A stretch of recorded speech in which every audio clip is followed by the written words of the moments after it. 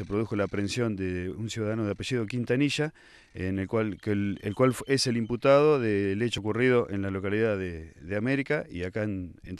¿no? en, un, comercio de acá. Este, gracias a Dios se pudo irrumpir en forma dinámica, eh, tuvimos que, ingresar utilizando una brecha mecánica a la vivienda y sorprender a los moradores, a los cuales los aseguramos y, y de esa forma permitimos que personal de DDI y, de, y del servicio de calle de acá de, la zona trabajara con normalidad y se pudiera trabajar, digamos, y secuestrar los elementos probatorios para, la presente investigación. Una, aclaración. Eh, hay que destacar también que este procedimiento se llevó a cabo este, a raíz del requerimiento de la Delegación Departamental de Investigaciones Trinquelauquen, que es DDI,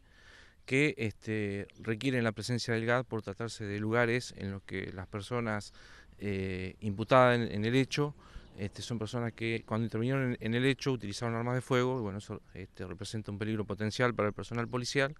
y el personal idóneo para trabajar en ese tipo de procedimientos y hacer la erupción en el lugar es el personal del GAD, por eso concurrieron dos escalones a hacer este, esa diligencia de allanamiento ordenada por una fiscalía tranquila. Dos allanamientos este, han coronado de cierta manera todo el trabajo que se ha venido realizando y que por supuesto este, va a ser intenso en lo que resta del año, este, preparándonos para eh, todo este tipo de diligencias.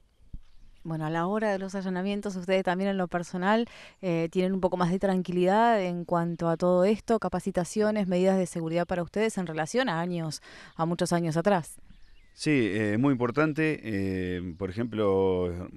recién recordaba con un compañero que uno antes de ingresar da algunas directivas eh, al personal, digamos, eh, brindándole tranquilidad y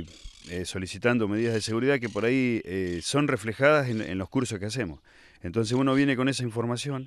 con esos datos que después uno lo pone en práctica y realmente trabaja más seguro y, bueno,